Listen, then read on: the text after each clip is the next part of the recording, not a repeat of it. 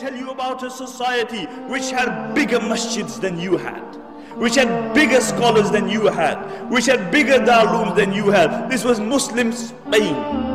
It had far bigger masjids than you had.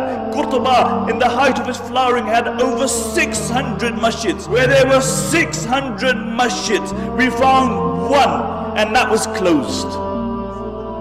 Why? What happened? Because these are people who forgot Allah and Allah made them forget themselves. Have you seen the Alhambra Palace? Wallahi, when you look at Alhambra Palace, the eyes marvel at the architecture and artistry.